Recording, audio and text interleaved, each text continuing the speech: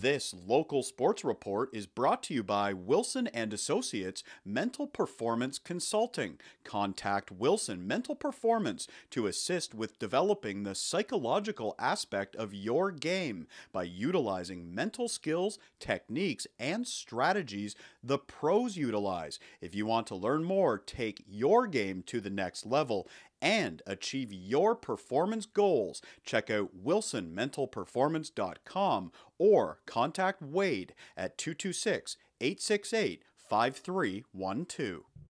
The Waterloo Wolves hitting the ice for their home opener on Saturday night. The Wolves looking to stay unbeaten this season. Nathan Maloya getting his first start of the year between the pipes. The Wolves taking on the Lambton Junior Sting at Rim Park. Just over three minutes in, Cooper Way breaking in. He centers, circles the net, and bangs it home.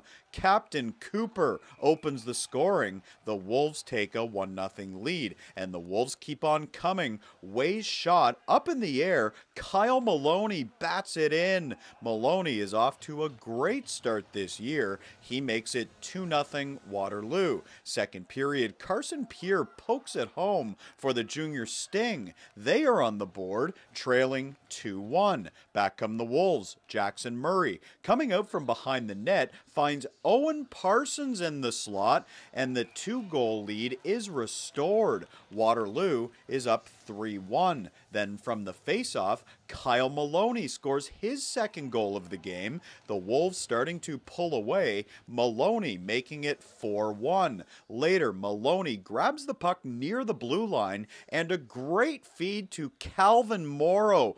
Beauty goal from the Wolves. They are in control. It's 5 1. Meanwhile, Nathan Maloya was sharp in his first start. Nice stop here on the redirect. Then a little later, Maloya kicking out his right pad to make another big stop. Maloya and the Wolves, with a solid effort in their home opener, they double up on the Junior Sting by a final score of 6 3. Waterloo is now 1 0 and 1 this season. Uh, came out with a really good start. We wanted to get off to a hot start. We've been having some slow ones last couple games. The boys came out there ready to go, and you're always excited to be on home ice to start uh, start the season off. And we showed that tonight.